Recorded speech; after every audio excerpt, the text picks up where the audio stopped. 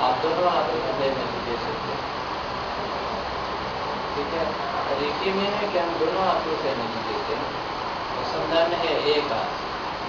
क्योंकि तो आपके एक हाथ में इतना पावर होती जितने के रेखी में दोनों हाथों में भी नहीं ठीक है? इसलिए दो हाथ रखते हैं। लेकिन अगर संधा में आप दो हाथ रखते हैं तो पावर और बढ़ जाता है।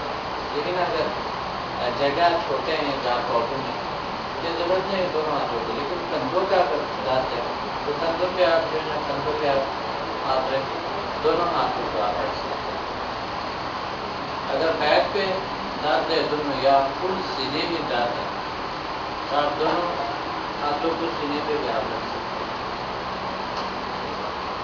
इस तरह के आप जो है ना एनर्जी सेंटर्स को एक्टिवेशन और यहाँ से हमारे अजाना पावर है जो अगर आपको प्रॉब्लम है ऐसी प्रॉब्लम साथ के दांत के हवाले से थोड़े से वीडियो लगाएँगे, हाथ लगा कर भी तो सुकून आता है।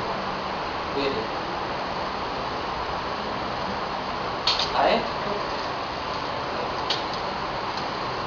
सिर्फ़ हाथ व्यू लगाकर कोई भी सुकून आ जाता है। ये देखिए एनर्जी जाते हैं ना?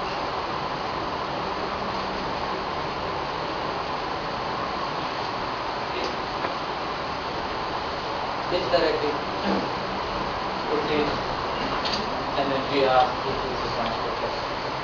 जी। चलो अच्छा है। साथ साथ जो है ये भी हो गए और